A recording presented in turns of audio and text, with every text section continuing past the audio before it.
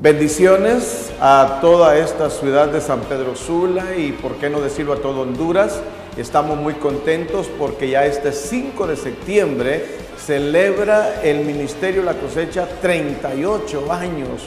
Es un orgullo para nosotros los pastores y felicitamos ah, y agradecemos a Dios por todo este tiempo, al apóstol Misael Arreñal, a su esposa María Elena, como también a todo su equipo de ancianos. Qué maravilloso. Ahí vamos a estar celebrando juntos este tiempo que estamos seguros será un tiempo de gloria. Bendiciones para todos.